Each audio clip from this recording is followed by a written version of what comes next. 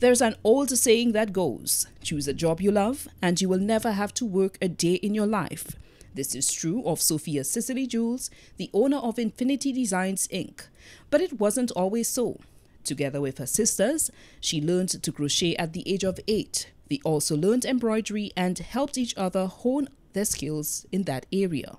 The sisters would often help their seamstress aunt hemming garments and sewing on buttons.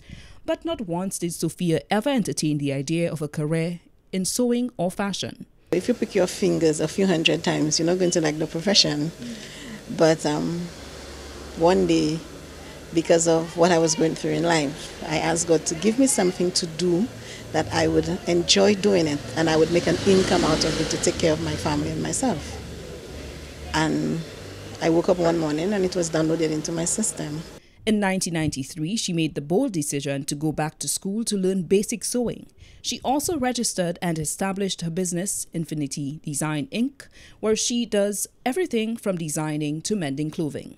Some persons walk in here and have an idea as to what they want. So when they explain what they want to me, I sketch for them to exact specifications of the piece that they would like done.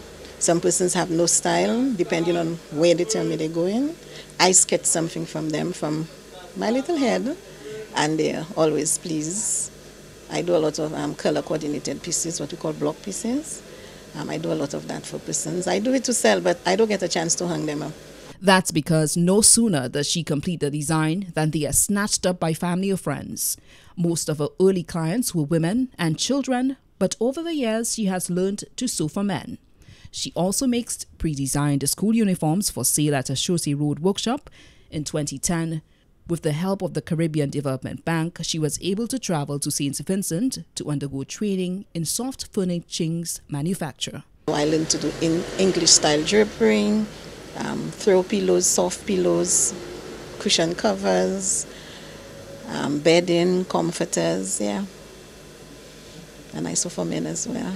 Ultimately, Sophia hopes to have a business become a household name and to be known not just for making clothing for women, children, or even men, but also for soft furnishings and upholstery.